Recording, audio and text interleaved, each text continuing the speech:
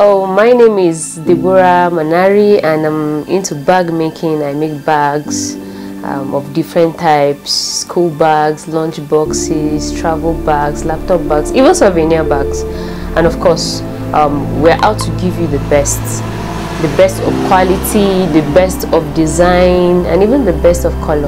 It depends on all what you want okay the motive behind this that's the driving force what actually pushed me into um, being an entrepreneur is i love to be independent and i love to make impact even in the lives of the youth so instead of just lingering around staying idle doing nothing i think it's, it's, it's better it's better to come up with something and then make impact in the society and even the community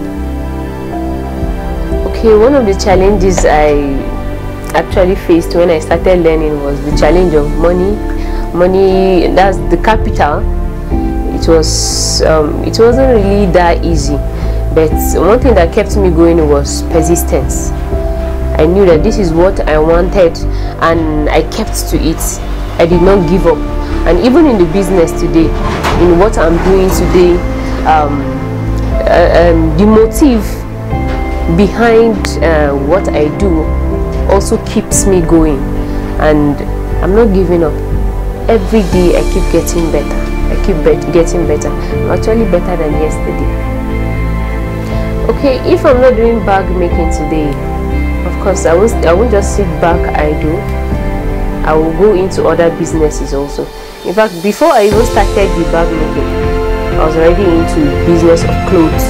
I sell clothes, men clothes, women clothes, and all of that. So, nevertheless, I'm not giving up on the bag. I still love what I do and I'll keep doing it. Okay, the idea behind the name Libra Bags is just freedom. Freedom, equality, like you're free to become better. You're free to become who you want to be. It all depends on your mindset and all okay, in the next five years, I see Libra to the nations, even beyond the sphere of Nigeria. Because as it is right now, we actually started Libra last two years, but there is progress. There is progress. So we are seeing it beyond the region where we are now, even to other states and then to nations. Okay, my advice to the young people out there is you don't have to give up you just have to keep doing that thing you've started though it might look very small at the beginning but the end of a matter who knows it can be great.